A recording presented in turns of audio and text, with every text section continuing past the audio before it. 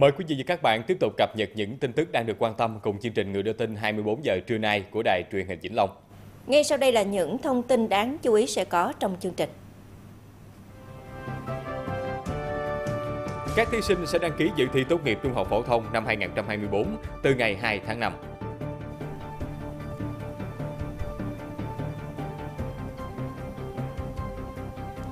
Thị trường dừa tươi sôi động mùa nắng nóng.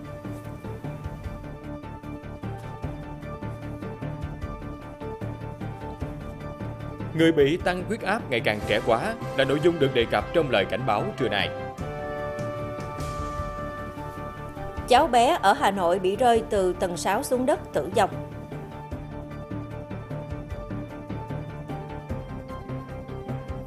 Án tù chung thân cho đối tượng đâm ba người thương vong.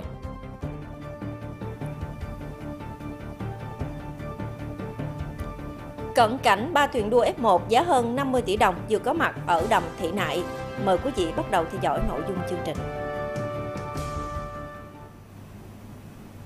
Theo văn bản hướng dẫn tổ chức kỳ thi tốt nghiệp trung học phổ thông năm 2024 của Bộ Giáo dục và Đào tạo mới ban hành, thí sinh đang học lớp 12 năm học 2023-2024 sẽ chính thức đăng ký dự thi từ ngày 2 tháng 5 đến 17 giờ ngày 10 tháng 5 theo hình thức trực tuyến. Còn đối với các thí sinh tự do thì sẽ đăng ký dự thi trực tiếp tại các đơn vị do Sở Giáo dục và Đào tạo quy định. Bộ Giáo dục và Đào tạo quy định các trường phổ thông cấp tài khoản mật khẩu cho thí sinh đang học lớp 12 và hướng dẫn thí sinh chuẩn bị hồ sơ để đăng ký dự thi trực tuyến. Tài khoản là số căn cước công dân hoặc chứng minh nhân dân, mã số định danh cá nhân do cơ quan công an cấp. Sở Giáo dục và Đào tạo chỉ đạo các trường phổ thông, các đơn vị đăng ký, dự thi kiểm tra và kiểm tra chéo thông tin thí sinh đăng ký dự thi, đăng ký xét công nhận tốt nghiệp trung học phổ thông. Đặc biệt lưu ý các thông tin về diện ưu tiên, điểm khuyến khích trong xét công nhận tốt nghiệp trung học phổ thông và thông tin để hưởng ưu tiên trong xét tuyển đại học cao đẳng của thí sinh. Thưa quý vị, nhiều ngày qua dù quảng trường 29 tháng 3 quận Hải Châu, thành phố Đà Nẵng đang trong giai đoạn hoàn thiện, nhưng người dân và du khách vẫn đổ về đây vui chơi. Đặc biệt là nhiều người chờ đợi để được trải nghiệm hệ thống phun nước nghệ thuật dù đang trong giai đoạn chạy thử. Càng về tối thì các con đường xung quanh quảng trường càng đông đúc tấp nập người và xe cộ. Một số người dân đi dạo, tập thể dục, trong khi đa số người khác thì chờ thời khắc nhạc nước nổi lên.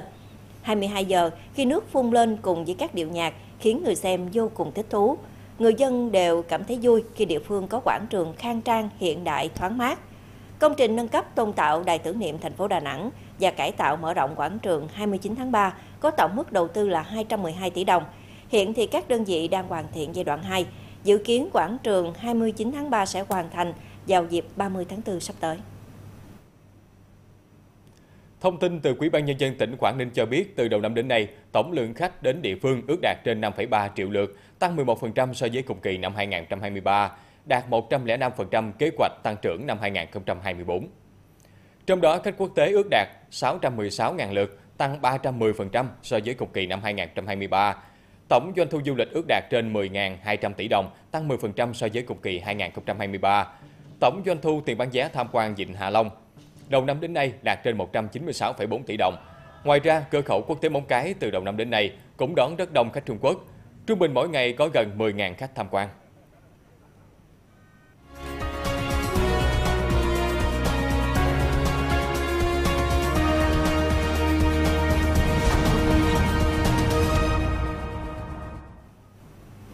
Tại thành phố Hồ Chí Minh, thị trường dừa tươi trở nên sôi động khi mà mùa nắng nóng kéo dài. Những ngày qua thì các chủ dừa dừa hay là các điểm bán dừa tươi đông khách mua nước dừa giải khát. Ghi nhận tại một dựa dừa sim ở thành phố Thủ Đức, cứ cách 2 ngày, dựa sẽ nhập dừa từ Bến Tre với số lượng từ 2.000 đến 2.500 trái. Dừa sẽ được dựa giao cho những quán cà phê, nhà hàng, công ty và bán sỉ lẻ. Giá dừa ghi nhận dao động từ 10.000 đến 22.000 đồng một trái tùy vào kích cỡ. Cụ thể, giá dừa sim xanh, dừa sim đỏ dao động từ 16.000 đến 18.000 đồng một trái, dừa dứa có giá 22.000 đồng một trái. Trung bình mỗi ngày, các dừa dừa sẽ bán ra từ 500 đến 1.000 trái.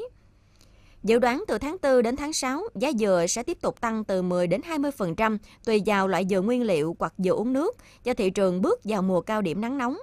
Bên cạnh đó, một số dùng trồng dừa ảnh hưởng bởi hạn mặn sẽ ảnh hưởng đến nguồn cung cho thị trường dừa tươi. Thưa quý vị, huyện Cam Lâm được coi là một trong hai vùng trồng xoài Úc nhiều nhất của tỉnh Khánh Hòa. Những ngày này các vườn trồng xoài ở đây đã bắt đầu bước vào mùa thu hoạch. Năm nay năng suất xoài Úc giảm so với những năm trước do ảnh hưởng của thời tiết, sâu bệnh, nhưng bù lại giá tăng được xuất khẩu sang Trung Quốc nên người trồng không lo về đầu ra. Hiện giá bán mỗi ký xoài Úc loại 1 và loại 2 trên dưới 30.000 đồng một ký. Huyện Cam Lâm hiện có khoảng hơn 3.000 hecta trồng xoài, trong đó có gần 2 phần 3 diện tích trồng xoài Úc. Thưa quý vị, trước kia thì mo cao khô phần lớn là bị bỏ đi, một số ít được sử dụng làm chất đốt. Hiện nay mo cao khô được một doanh nghiệp tại Quảng Ngãi thu mua làm nguyên liệu sản xuất chén đĩa, giúp cho người dân địa phương có thêm thu nhập. Và cũng từ đây thì phiên chợ mua bán mo cao được hình thành. Người dân chọn những mo cao to, đẹp rồi cắt lấy phần mo, bỏ phần lá. Mo cao sẽ được phơi khô, ép phẳng trước khi mang đến chợ bán cho thương lái. Chợ mo cao được mở tại nhiều địa điểm trên địa bàn huyện Nghĩa Hành, tỉnh Quảng Ngãi. Mỗi tuần chợ họp một lần. Mỗi mô cao chỉ làm được 2 đến 3 sản phẩm tùy loại nên khi mua phải kiểm tra phân loại kỹ. Tùy vào chất lượng, độ lớn mà giá tôi mua dao động từ 500 đồng đến 1.000 đồng một chiếc. Mỗi phiên chợ có thể mua được khoảng 1.000 mô cao các loại. Đại diện doanh nghiệp thu mua mo cao cho biết hiện đơn vị có 10 điểm thu mua mo cao luân phiên trên địa bàn huyện Nghĩa Hành. Mỗi tháng có khoảng 400 đến 500 người bán. Mo cao được chà rửa sạch, khử khuẩn sau đó đưa vào máy ép tạo hình thành chén dĩa, khay đựng thức ăn. Sản phẩm từ mo cao thân thiện với môi trường nên được nhiều người tiêu dùng ưa chuộng. Hiện sản phẩm này đã xuất bán đi nhiều nước trên thế giới. Còn tại Hà Tĩnh, hình thành cách đây hơn 100 năm, chợ Nhe là điểm buôn bán trâu bò lớn nhất ở tỉnh này. Đến đây thì người mua lẫn người bán đều dễ dàng lựa chọn được những con trâu bò ưng ý với giá cả hợp lý. Chợ Nhe họp vào các ngày chẵn gồm mùng 2, 12, 22 và những ngày lẻ gồm mùng 7, 17 và 27 trong tháng. Mỗi phiên chợ họp từ 4 giờ sáng đến khoảng 10 giờ là tan. Dù hiện nay hoạt động của chợ ít nhiều có sự thay đổi so với trước, thế nhưng cách thức mua bán trâu bò vẫn giữ nguyên. Chợ Nhe không chỉ là nơi tập hợp thương lái trong vùng mà còn là nơi gặp gỡ của giới buôn bán trâu bò từ nhiều nơi. Tùy vào mục đích mua bò trâu về làm giống, lấy sức kéo hay là để làm thịt mà mỗi người sẽ có sự lựa chọn phù hợp theo kinh nghiệm. Việc buôn bán diễn ra khá đơn giản, người mua trả giá, nếu đồng ý người bán sẽ đập tay. Đến chợ Nhe không chỉ mua bán trâu bò mà còn là để học hỏi kinh nghiệm chọn giống, trao đổi cách thức chăn nuôi, xem tình hình thị trường. Do đó, những phiên chợ trâu bò đã thể hiện bản sắc văn hóa độc đáo của một miền quê.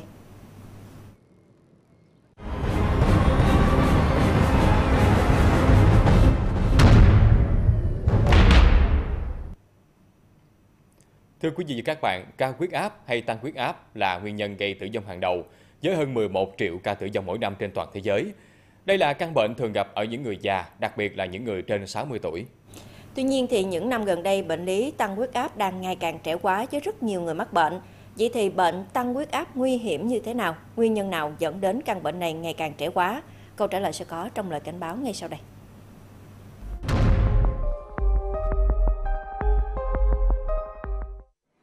Cứ 4 người trưởng thành thì có một người bị tăng huyết áp. Đây là số liệu của Viện Tim mạch Quốc gia điều tra được gần đây. Như vậy, có tới 25% người Việt trưởng thành vì căn bệnh này. Có nơi cá biệt tỷ lệ lên tới 47%. Tăng huyết áp là tình trạng áp lực máu tác động lên thành mạch tăng cao. Cao huyết áp không có biểu hiện rõ ràng. Tuy nhiên, nếu không điều trị sớm, căn bệnh này có thể gây ra những biến chứng nguy hiểm như đau tim, đột quỵ. Mới đây, một bệnh nhân hơn 40 tuổi ở Lâm Đồng được chẩn đoán tăng huyết áp và điều trị tốt trong hơn 6 tháng.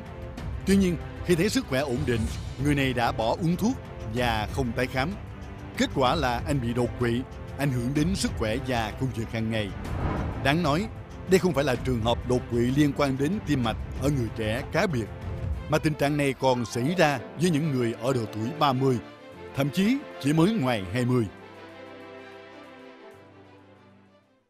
Thì à, mình à, năm nay 35 tuổi thì ờ, được chẩn đoán là tăng huyết áp ờ, giai đoạn 1. Mình ờ, có thói quen là hay ăn mặn rồi bình thường thì mình có thói quen ăn thịt mỡ với lại đồ ăn nhanh. Thì mình cũng không thấy có biểu hiện gì lớn chỉ có thỉnh thoảng là bị hoa mắt chút xíu rồi đi bệnh viện khám kiểm tra sức khỏe thì mới vô tình phát hiện hầu hết á, là bệnh nhân tăng huyết áp ngay cả người lớn tuổi cũng vậy thường triệu chứng nó rất là mơ hồ và thậm chí là không có triệu chứng à, có những người chỉ có những triệu chứng à, cảm thấy hơi nhức đầu à, cảm thấy hơi chóng mặt à, khi mà huyết áp nó tăng nhiều thôi. Còn có những người hoàn toàn không có triệu chứng gì cả và khi đến khám huyết áp rất là cao. Ví dụ những người à, hoàn toàn là không triệu chứng nhưng khi đau huyết áp con số huyết áp lên tới hơn 20 mét thủy ngăn ở huyết áp tâm thu ví dụ như thế. Thì à, chúng ta đừng có đợi chờ cái triệu chứng tăng huyết áp. Nếu mà chúng ta không điều trị thì cái thời điểm mà từ lúc là cơ thể mình tăng huyết áp cho đến lúc điều trị là cái thời điểm có thể xảy ra các cái biến chứng của tăng huyết áp. Ví dụ như là có thể bệnh nhân bị đột quỵ. Và ví dụ như bệnh nhân có những cái biến chứng uh, ảnh hưởng trên thận uh, trên mắt. Theo các chuyên gia về tim mạch ngoài áp lực cuộc sống áp lực công việc căng thẳng kéo dài ít rèn luyện thể lực ăn nhiều thịt và mỡ động vật ít rau xanh uống nhiều bia rượu thì chế độ ăn thừa muối có nguy cơ cao dẫn tới tăng huyết áp cũng như các bệnh về tim mạch. Trong đó có bệnh tăng huyết áp đây chính là nguyên nhân hàng đầu khiến bệnh nhân bị tăng huyết áp ngày càng trẻ hóa. Cũng có khi là ăn thức ăn nhanh như là mì tôm hoặc là những thứ món ăn lặt vặt. Tôi thường ăn thức ăn nhanh thì tôi vẫn biết là những thứ đó sẽ có hại đến sức khỏe của mình và gây ờ, ra bệnh tăng huyết áp. Nhiều lúc buổi sáng nó sẽ không ăn sáng đầy đủ. Đôi khi bận quá và không có thời gian em sẽ ăn mì gói để ờ, qua bữa trong chế độ ăn hàng ngày thì mình thường ăn mặn nhiều hơn. Điều trị cho um, bệnh nhân tăng huyết áp là điều trị suốt đời không có ngưng nghỉ được. Còn nếu chúng ta điều trị một thời gian rồi chúng ta bỏ là chúng ta uống thuốc ờ, điều trị lại thì cái này không có lợi. Ngoài ra thì nếu một người quá trẻ tôi nói lúc nãy thì có những cái bệnh lý thứ phát làm tăng huyết áp. Thì đứng trước những trường hợp này thì chúng ta phải phải tầm soát à, các cái ờ, bệnh mà có thể gây tăng huyết áp. Ví dụ như là bệnh lý của mạch máu thận bệnh lý của chủ mô thận bệnh lý của tuyến thượng thận bệnh lý của tuyến giáp vân vân. Thì cái này các uh, những người trẻ một khi bị tăng huyết áp này chúng ta thì chúng ta nên vào bệnh viện gặp các bác sĩ chuyên khoa để người ta xác định lại cái tình trạng tăng huyết áp đó có đúng hay không. Và đã đúng rồi thì người ta phải tầm soát các cái nguyên nhân có thể chữa được trước khi mà chúng ta có một quyết định điều trị lâu dài. Để kiểm soát huyết áp hiệu quả hơn người bệnh cần tái khám mỗi tháng tuân thủ điều trị lâu dài theo đúng chỉ định của bác sĩ. Bên cạnh đó, cần vận động thể lực đều đặn về vừa sức. Cần tập thói quen ăn lạc, hạn chế ăn mặn và mỡ, thực phẩm chiên xào. Không sử dụng bia rượu và thuốc lá.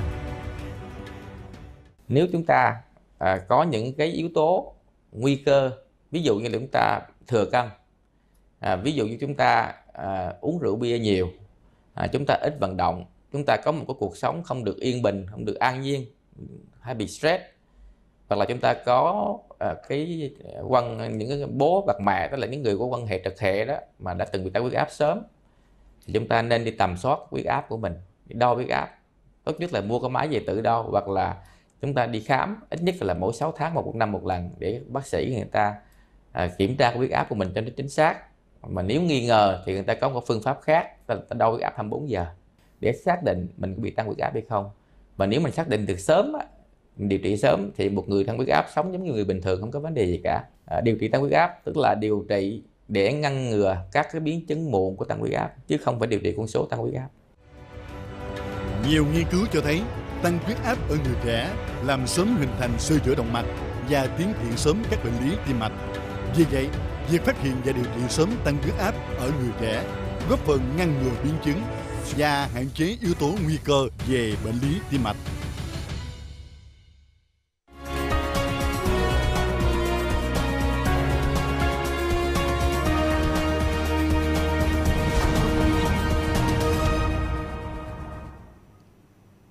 Tiếp tục chương trình Người đưa tin 24 giờ trưa nay là các thông tin đáng chú ý sau. Cháu bé ở Hà Nội bị rơi từ tầng 6 xuống đất nguy kịch. Án tù chung thân cho đối tượng đâm ba người thương vong.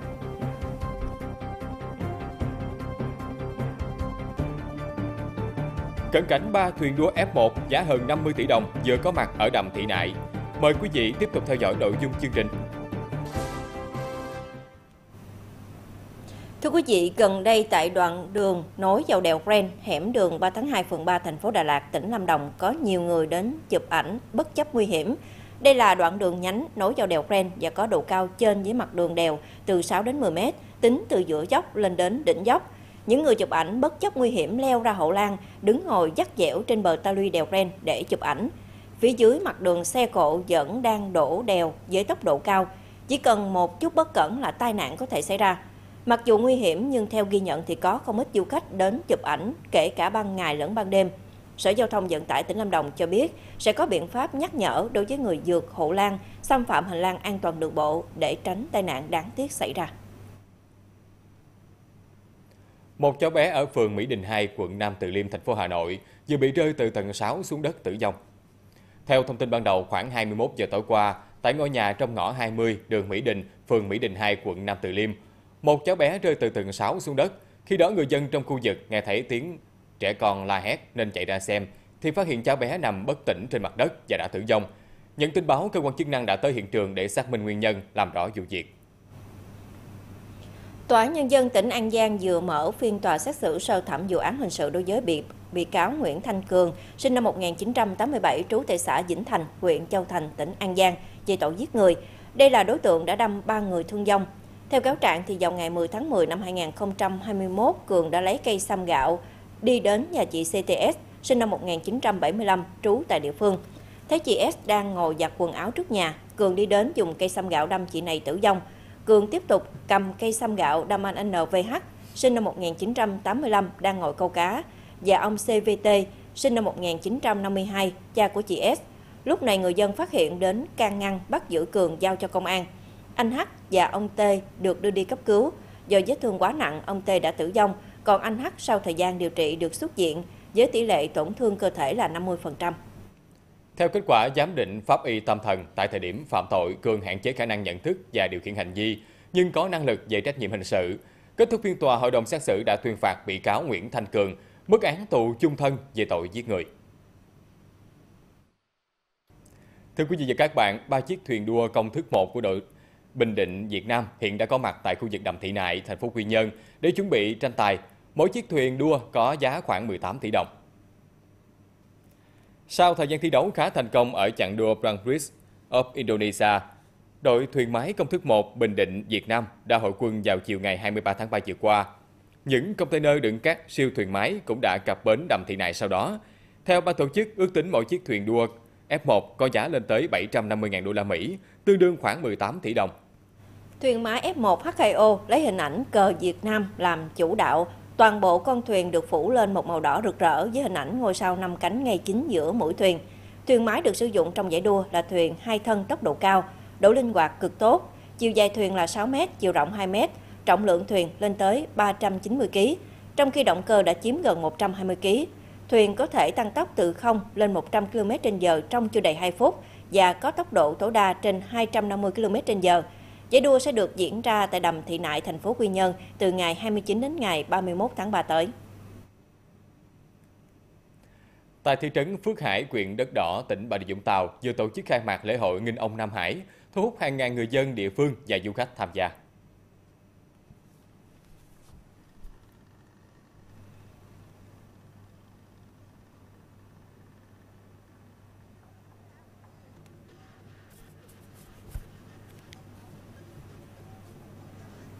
Năm 2024, lễ hội Nghinh Ông Nam Hải được tổ chức trong 3 ngày, từ ngày 24 tháng 3 đến ngày 26 tháng 3. Lễ hội có hai phần. Phần lễ gồm các nghi thức nghinh thủy thần, lễ thỉnh bà an dị, lễ xuân quý, lễ khai diên, lễ đại bội. Ở phần hội, địa phương tổ chức nhiều môn thể thao dân tộc cùng các hoạt động văn hóa, văn nghệ phục vụ người dân địa phương và du khách. Để bảo tồn, phát huy bản sắc văn hóa, đồng thời thúc đẩy du lịch địa phương phát triển. Từ năm 2011, huyện Đất Đỏ đã nâng cấp lễ hội Nghinh Ông Nam Hải từ lễ hội dân gian thành lễ hội cấp huyện. Đây không chỉ là dịp để bà con người dân thể hiện lòng thành kính đối với thần Nam Hải, tức cá ông, mà còn có giá trị như một thông điệp gửi đến bạn bè, du khách gần xa về một phước hải chứa đựng nhiều giá trị văn hóa đặc sắc, một vùng biển hiền hòa, thân thiện và mến khách. Thảo Cầm Viên Sài Gòn quận nhất thành phố Hồ Chí Minh vừa tổ chức lễ hội ẩm thực nét quê, tái hiện văn hóa ẩm thực miền Tây Nam Bộ. Hoạt động lần đầu tiên được tổ chức nhằm giúp khách tham quan có cơ hội tìm hiểu về nét ẩm thực đặc trưng của vùng đất này. Lễ hội đã thu hút hàng ngàn khách tham quan.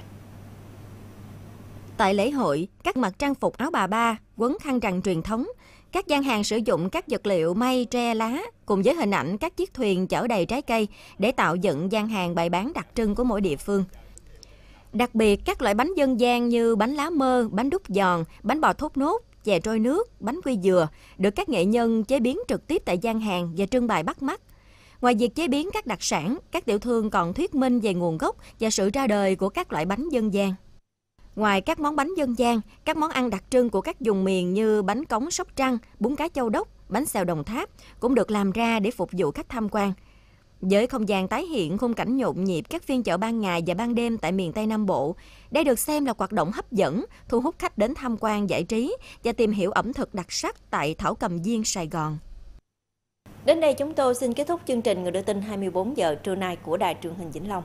Cảm ơn quý vị và các bạn đã đồng hành cùng chương trình và để xem lại chương trình này, quý vị và các bạn có thể truy cập vào trang web www.thvnli.vn hoặc tải ứng dụng THVNLI trên Google Play và App Store. Xin thân ái chào tạm biệt và hẹn gặp lại.